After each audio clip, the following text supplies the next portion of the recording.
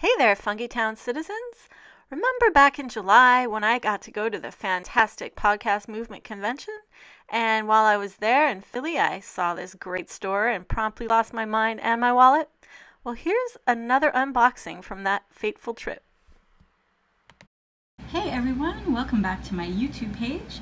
Um, last time we opened up this cute little baby here and today it's going to be another unboxing. When I walked into that Sanrio store and I saw this on the shelf, I kind of freaked out a little bit. I may have been hyperventilating, I'm not sure, but it looks like there are several options here and they're all kind of realistic looking. Um, let's, without further delay, ew, that's my hair. Uh, without further delay, let's take a look and see what's inside this bag. Once again, trying to open this one-handed. I think brute force is the proper choice on such an occasion. Alright. Ah. Yes, this was $11. And no, I don't care. Alright.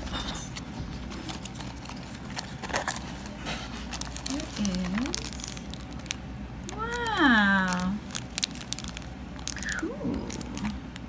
like maybe a king oyster.